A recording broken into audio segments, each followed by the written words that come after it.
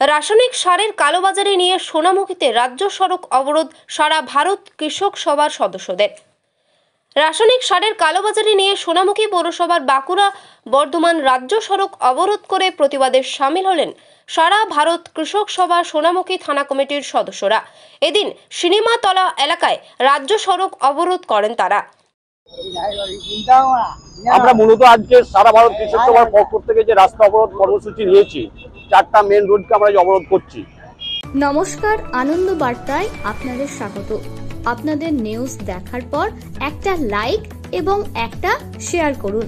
ভালো ভালো নিউজ দেখতে পেজটি লাইক করে দিন। তার কারণ হচ্ছে যে এর আগে কিছুদিন আগে আমরা অবরোধ কর্মসূচি নিয়েছিলাম রপরডাঙ্গায় সেখানে হয়তো আপনিও ছিল দেখেছেন। আমাদের যে কৃষকরা যে এই সময় যে আলু চাষ করবে তার যে রাসায়নিক সারের প্রয়োজন সে রাসায়নিক সার সোনামুখী থানা এলাকায় কোথাও পাওয়া যাচ্ছে না। রাসায়নিক সার যেটুকু পাওয়া যাচ্ছে, যে সরকারি নির্ধারিত যা মূল্য, তার থেকে অনেক দামে বেশি চাষিদিকে ক্রয় করতে হচ্ছে। চাষিদের জীবন যন্ত্রণা প্রতিদিন বেড়ে চলছে। এই সরকারটা হচ্ছে লুটের সরকার। যখন যে সময়টা আসে, যে সময়টা লুট, যা যা লুট করা প্রয়োজন হয়, ওরা সেই সময়টা সেটাই লুট করে। এই সময় কৃষকরা আলু চাষ করবে, অতএব আলু চাষের জন্য কালোবাজারি সৃষ্টি, কালোবাজারি করে কালোবাজারির টাকা থেকে কৃত্রিমভাবে সৃষ্টি করে এবং কালোবাজারিতে মুনাফা একটা করার জন্য এই সময় সারের কালোবাজারি এরা করছে। পক্ষ থেকে তারা সুস্থভাবে সে ব্যবস্থা করুক। চাষিরা যাতে আলু চাষ করতে পারে এবং সরকারি নির্ধারিত মূল্যে যাতে তারা রাসায়নিক সার পায় সে ব্যবস্থা তারা করুক। এটাই হচ্ছে আমাদের সারা ভারত কৃষক সভার পক্ষ থেকে মূলত দাবি। অবরোধের জেরে তৈরি হয় যানজট পরিস্থিতি। সাধারণ পথ চলতি সাধারণ মানুষের সঙ্গে বাগবিতগঞ্জয় জড়িয়ে পড়েন পথ অবরোধকারীরা। এমনই ছবি উঠে এসেছে আমাদের ক্যামেরায়। প্রায় দশ মিনিট ধরে তাদের এই পথ অবরোধ কর্মসূচি চলে যার কারণে তৈরি হয় যানজট সমস্যা। সারের কালোবাজারির বিরুদ্ধে এইটা আপনারা হয়তো জেনে থাকবেন যে আমাদের দেশে সার কৃষক যাতে ন্যায্য মূল্যে পেতে পারে, তার জন্য একটা বড় দেশ জুড়ে কোপারেটিভ ছিল যার নাম হচ্ছে ইফকো। তারাই সারের উৎপাদন এবং বন্টনের একটা বড় কাজ করতেন এবং ইফকোর সার বাজারে কখনো বিক্রি হয়নি খোলা বাজারে। ওটা হতো কোপারেটিভের মাধ্যমে, সমবায়গুলো। গ্রামের সমবায় তারা কৃষকের হাতে এই সার পৌঁছে দিত। এটা ছিল ট্র্যাডিশনাল স্বাধীনতার অনেক পরে বামপন্থীদের দীর্ঘ লড়াইয়ের ফসলে এটা সংগঠিত হয়। এখন আমরা যা জানছি তাতে হচ্ছে মমতা ব্যানার্জি সরকার পাঁচশো কোটি টাকা ঘুষ খেয়ে ইফকোর বোর্ড অফ ডাইরেক্টরে এইসব নোংরামি করে সেখানে পুরোটাই খোলা বাজারে ছেড়ে দেওয়া হয়েছে। এখন ইফকো সার নিয়ে যা হবার, যেহেতু সাবসিডাইজ সার, আমার দেশের সরকারের সাবসিডাইজ সার, সেই সার এখন খোলা বাজারে বিক্রি হয়ে যা পরিণতি হয় সেই জায়গাতেই গেছে। মূল হচ্ছে ওনার টাকা খাওয়ার মানসিকতার কারণে এই কাজটি হয়েছে।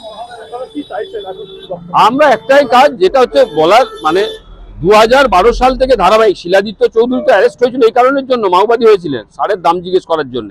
তাহলে দু হাজার সালের আগস্ট মাসের ঘটনা তারই ক্রমান্বয়ে ধারাবাহিক সারের দাম বৃদ্ধি করছে আমরা চাইছি কৃষকের হাতে ন্যায্য মূল্যে সার গেলে বাজারে মানুষের খাদ্যের যোগান স্বাভাবিক থাকবে। আর না হলে বাজার শেষ হয়ে যাবে সাধারণ মানুষের টিকে থাকার কোনো রাস্তা থাকবে না। দেখুন সারটা হচ্ছে পুরোপুরি কেন্দ্রীয় সরকারের নিয়ন্ত্রণাধীন এবং ওদের আহ, নিয়ন্ত্রণে এর মূল্য বৃদ্ধি পায়। সেই হিসাবে সেই জায়গায় দাঁড়িয়ে পর আমরাও এই সারের আহ, মূল্য বৃদ্ধি বা কালোবাজারি এরও প্রতিবাদ আমরাও করছি। কিন্তু বেশ কয়েকদিন ধরেই দেখতে পাচ্ছি যে সিপিএম নামক দলটা যে দলটা চৌত্রিশ বছরের বাংলার মানুষকে নাভিশ্বাস করে তুলেছিল এবং মানুষের দুর্যোগের কোনো সীমা ছিল না, সেই দলটাই, যে দলটা বাংলার মানুষের ক্ষতি করে দিয়ে গেছে, বাংলার ক্ষতি করে দিয়ে গেছে চৌত্রিশ, গত চৌত্রিশ বছর ধরে। তাদের সেই ভোটটা, তাদের বর্দা বিজেপিকে তারা সুইং করিয়েছিল।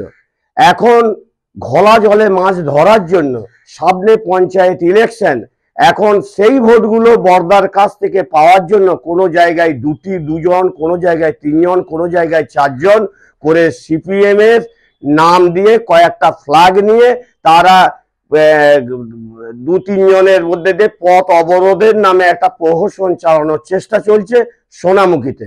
রাসায়নিক সার নিয়ে কৃষকদের কোনো সমস্যার সম্মুখীন হতে হচ্ছে কিনা তা জানতে পেরে আমরা পৌঁছে গিয়েছিলাম কৃষকদের কাছে।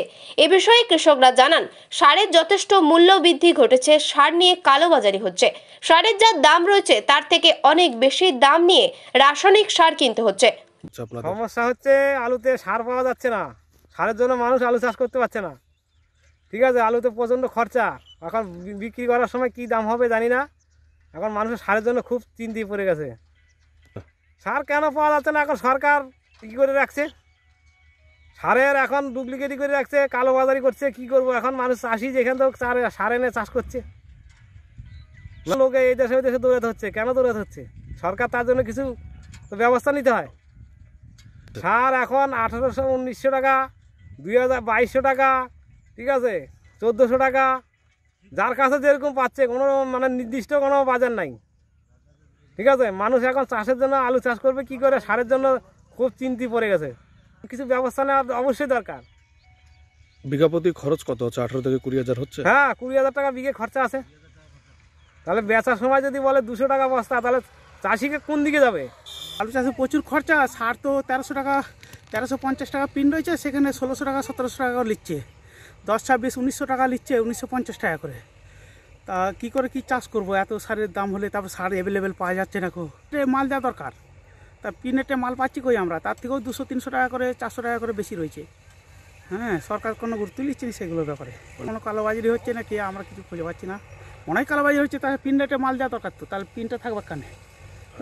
বাঁকুড়া থেকে সৈয়দ মাফিজুল হুদা, আনন্দ বার্তা।